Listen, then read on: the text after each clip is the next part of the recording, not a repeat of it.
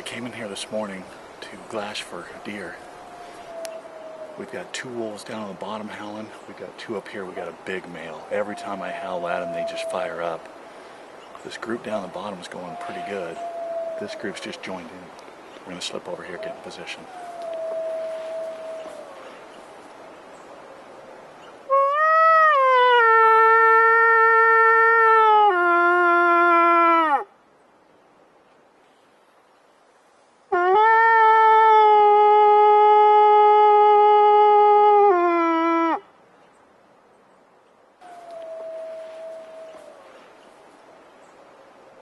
Welcome to Bugling Bull Game Calls. We're here to show you how to use the new wolf pack system. The wolf calling system is designed to do the howling that the wolves do, like a pack howl. And Michael, yesterday we were into a bunch of wolves. We got into a lot of wolves. What did we count? 12, 12 total? 12 different wolves.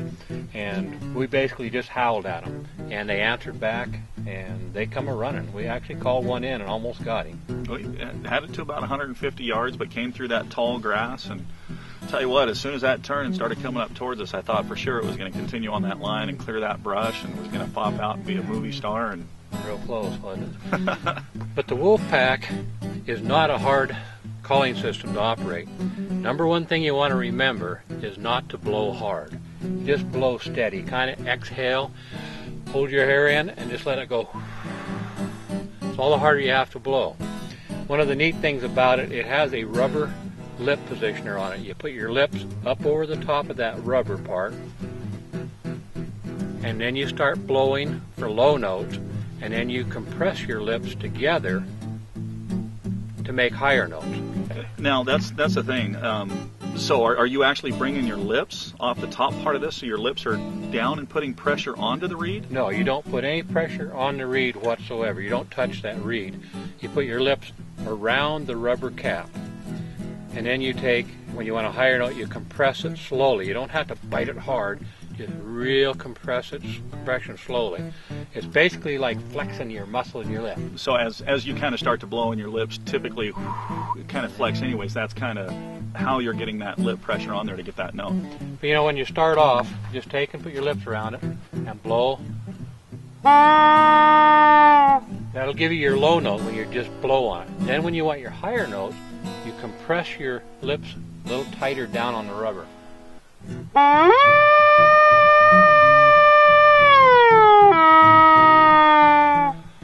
That gives you that eerie moan of those it, wolves. It, it hits that real eerie hollow note really, really well. And that's one thing I noticed yesterday when we were howling at the wolves and they would howl back at us. I couldn't really tell the difference between pitch and tone, but it sure hit that eerie note that they get just Yeah. dead on. So just remember, you don't have to blow real hard. That's really critical because too many guys want to grab it. They want to blow, It, it doesn't take and much at all. you, you end up getting a big blary sound out of it. And it's just so, so easy to use. It's almost like it's too easy. It, I, I definitely think it is. When you first start howling with a Wolfpack howler, you want to leave it in the open position. It has a tone selector on it so you can dial it in for more volume and less volume. But start off with your, your open position, but as a wolf get in closer and they're starting to howl or you need less volume, you can just turn that indicator down so it's a lot quieter. Here we go again.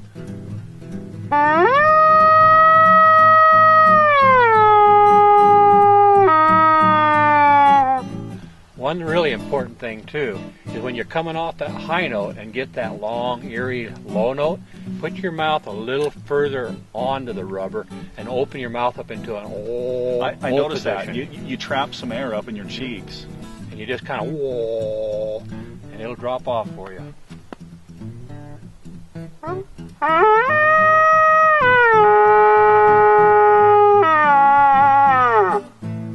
It's so fun to use.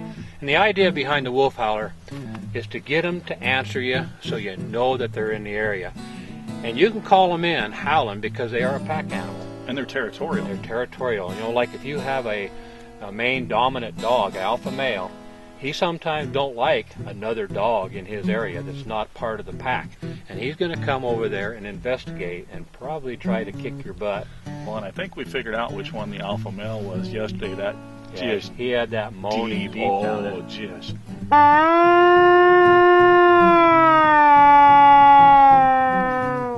He didn't go up to that high pitch like your younger dogs do. no, no. He stayed real. He's got that dominant sound. But once you find a pack of wolves and they're howling at you, you can also go into your predator calling, and this wolf pack comes with a distemper predator call.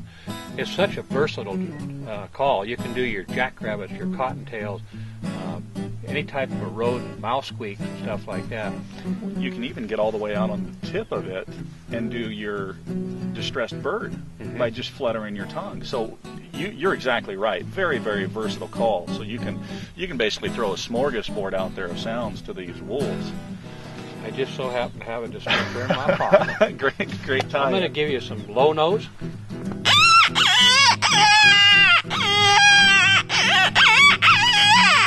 If you move your lips up further on the shaft, you're going to get a little higher pitch. Then when you go clear out on the end, you're going to get those high squeaky sounds, mouse pitches and Mouse pitches. bird pitches.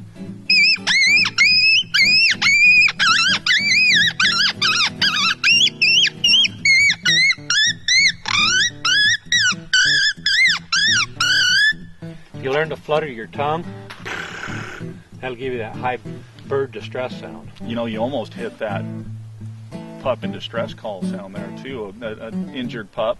You can come close to that whiny pup sound. That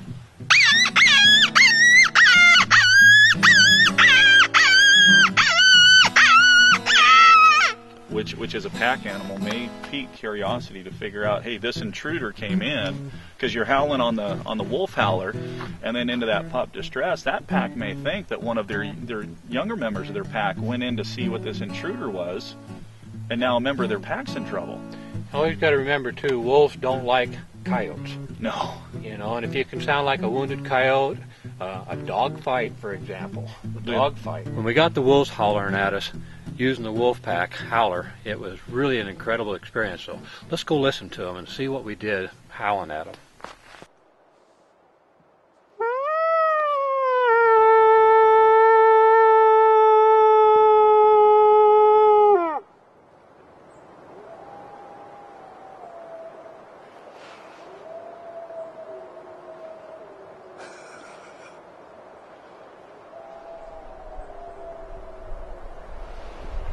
Still howling. We're in between two groups. One group headed downriver. We actually had a small female come trotting in about 150 yards down. Just caught the very tops of her just slipping through over here.